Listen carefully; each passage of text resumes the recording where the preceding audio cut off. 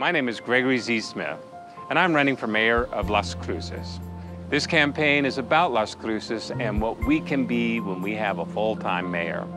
I will lead by example, with integrity, with vision for our future, and toward greater economic diversity so that our young people can build careers here.